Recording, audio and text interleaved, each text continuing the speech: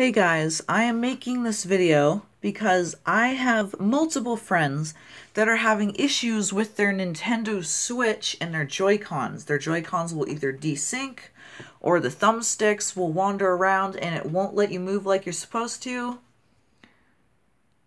This is my huge Nintendo display, 3DS and Nintendo Switch. We've got Lego Mario over here holding Odyssey. Okay, anyway. So, let's get the 3DS out of here. So, this video is basically just to show you how to fix those problems. Like, I have been able to fix any problem I've had with my Switch wandering. Like, the Joy-Cons, they will wander sometimes. Like they did in the past. But then I did this one simple trick and it fixed the problem. And then one time my left and right thumbsticks they were wandering like I'd press it and it would keep moving my character in that direction, even if I wasn't even pressing them. So I'm hoping that this video will fix your problems. And let's just get straight into it on how to fix all the problems in any scenario that I can possibly think of.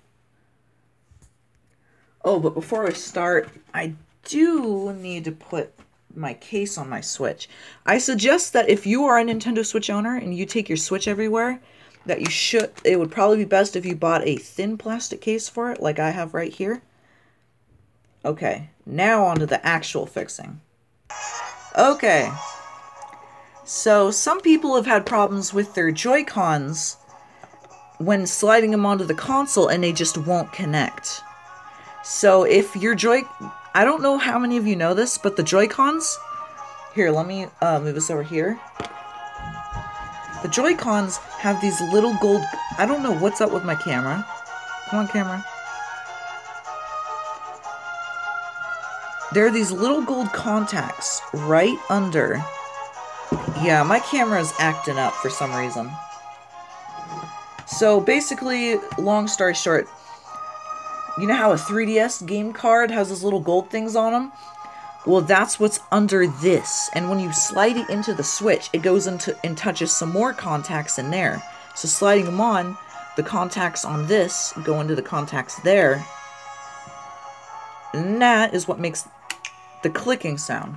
Now, if you're not getting that clicking sound, you either have one of two problems. Either your contacts are really dirty or they're just damaged. And in that case, you're either going to have to buy new Joy-Cons, or if your Switch is still within its one-year warranty, you could ship them to Nintendo and they'll fix them for free, but only if your Switch is still within its 12-month warranty. So, I know is going to sound crazy, but all you need to clean out the contacts there and on here is a toothbrush. Now, hear me out, hear me out. You don't whatever you do, do not use a used toothbrush. That's just plain old disgusting. Don't take a used toothbrush and start cleaning out the contacts with it.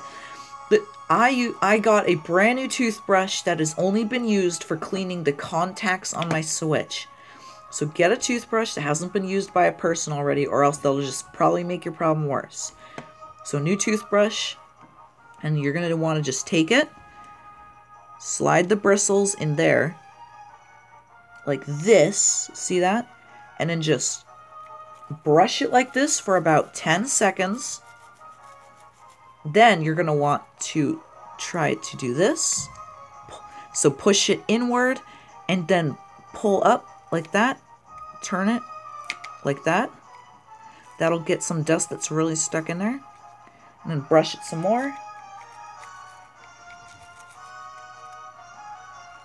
And that should solve your problem. And sometimes I'll get dust in the rail here, in the crack of the rail. So you can just take the toothbrush, just rub across the rail here, and that will get all the dust out. It works for me. There. And then you just do it to the other Joy-Con to make sure they're both in tip-top shape working.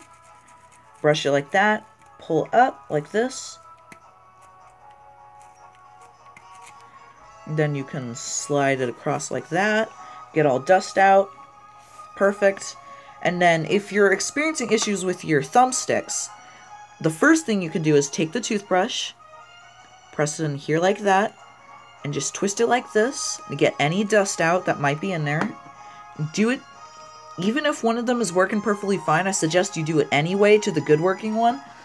That way no dust gets in there. And then some people are also having a problem where their shoulder buttons aren't responding. Now you could have one of three problems. Either you're mashing them too hard when you're playing your games and that's harming them. Or second, there's a bunch of dust in there and then it just isn't contacting the little button thing under there. So you just want to do this. And then the third problem could be you just, they're worn out. So you'll just have to buy new ones or ship it to Nintendo if you're still within your 12 month warranty. So you just want to take that same toothbrush and just rub it like this over it.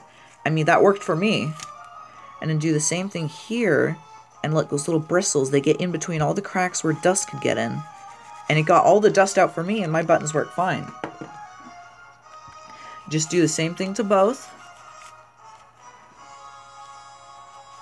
That should get all the dust out. Like I said, it worked for me. It's probably not going to work for everybody.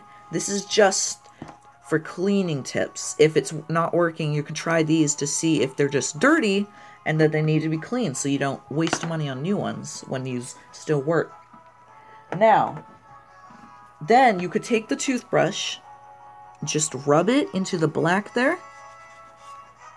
Just brush away. You should get all that gunk out or whatever is in there. Where I live, it's a pretty dusty area where I live. So I needed to learn a lot of these for cleaning out the Joy-Cons. Then one other thing you can do is blow, is to pull back the thumbstick and just blow in a 360 direction. Move the thumbstick like this and blow. Like, so like this. That's what it should sound like. Just like that, and that should help it. And another thing you can do, let's see if I still have one down here. Let's see, do I have one? Okay, so yeah.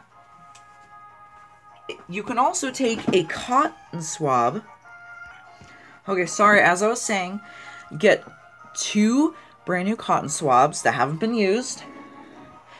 You can also pull back the thumbstick and just rub it in here, get any dust out that could be in there. And also rub it, there's a little, here, let me get a screwdriver. There is a little rubber cap on Joy-Cons that covers up the little area of movement for the thumbstick. So if you just take this and just rub it gently, because dust is attracted to rubber, so if you rub this little piece of rubber, you might be able to get some dust off it. And you can just do the same thing to the left one.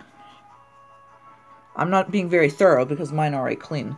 But you do it like this. There. Get that little piece of rubber. Wipe off any dust that could be on that.